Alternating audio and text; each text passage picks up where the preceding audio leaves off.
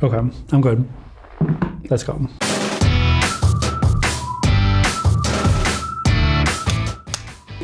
And three, two, one.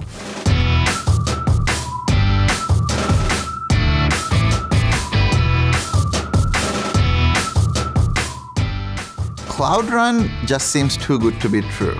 You take your application and put it in a container and just give it to Cloud Run, and the rest will be taken care of automatically.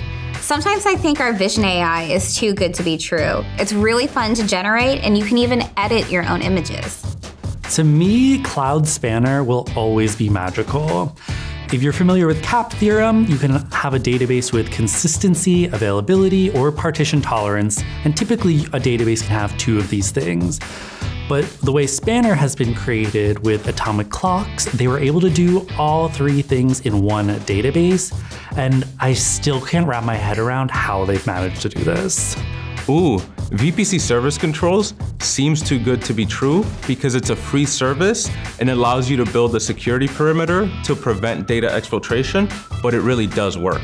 It seems too good to be true to be able to have a global network that doesn't require a lot of complexity to set up.